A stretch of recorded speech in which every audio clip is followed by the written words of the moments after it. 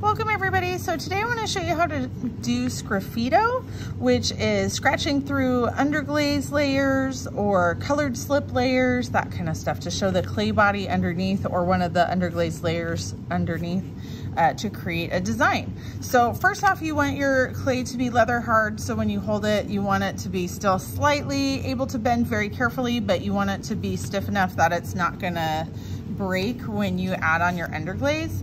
So whatever color of underglaze that you want, you're just gonna paint it on. You want a fairly thick layer. So depending on like this underglaze is kind of really thick already. So I probably only need one layer for this one, but if it was a thinner underglaze, then I would wanna have multiple layers because you wanna add enough where you're gonna have a solid coverage.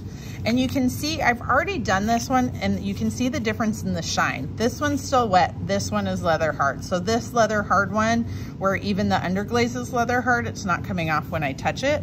That one is ready for the sgraffito. Now, if you feel good about just freehanding, then you can freehand. If you don't feel good about freehanding and you're like, I really wanna make, you know, this as my design, then draw it on a piece of paper first, lay that over your project and carefully press that into the clay so you can leave a mark that you can see, right?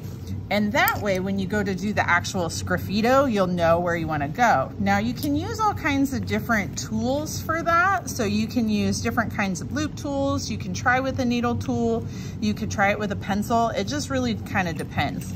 Now, if your clay is getting really hard or it's bone dry, that is actually not the best time for this in our classroom because it creates lots of dust. And if yours is bone dry and you're scratching away trying to make, you know, your design and it's creating all this dust, I'm gonna have you do it outside because uh, breathing in that dust is not the best for any of us. So you can see I just went through and I carved it.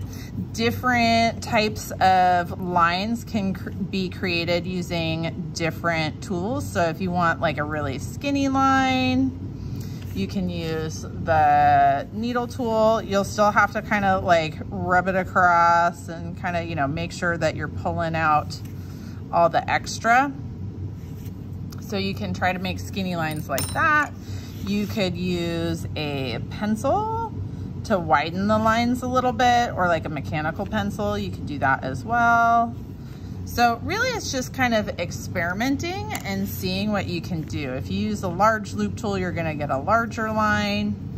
So give it a try, see how it goes, see what you like, but spend some quality time making something super awesome.